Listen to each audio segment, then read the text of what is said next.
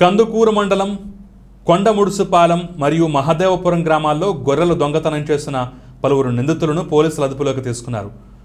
గుడ్లూరు మండలం నరసాపురం చెక్పోస్ట్ వద్ద ముద్దాయిలను అరెస్ట్ చేసినట్లుగా కందుకూరు కోర్టు నందు కందుకూరు డీఎస్పీ శ్రీనివాసులు తెలియజేశారు.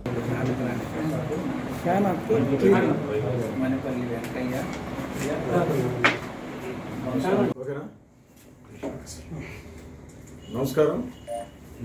గత నెల ఇరవై ఇరవై తొమ్మిదో తారీఖున నైట్ కొండమురుసుపాలెం కొండమురుసుపాలెం ఊరి బయట పొలాల్లోను అట్లాగే రెండో తారీఖు నైట్ మహదేవపురం పొలాల్లోను ఊరి బయట పొలాల్లోను.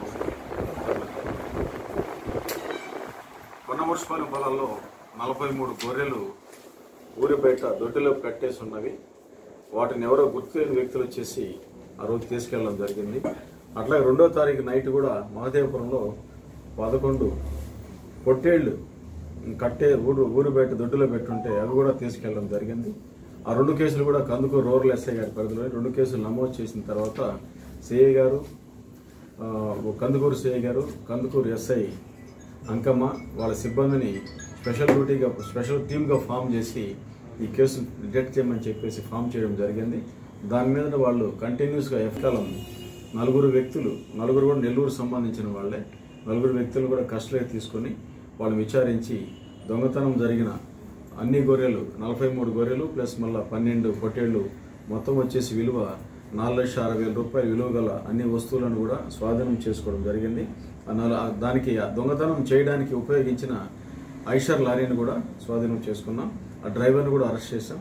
మొత్తం నలుగురిని ఈరోజు రిమాండ్కి పంపిస్తాం పంపిస్తాం.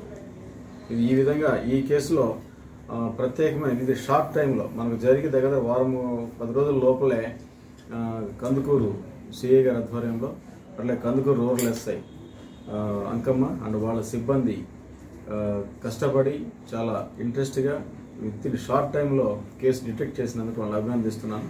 అట్లాగే మా ఎస్పీ గారికి చెప్పి వాళ్ళు కూడా తగిన విధంగా రివార్డు కూడా ఇప్పిస్తాం. Thank you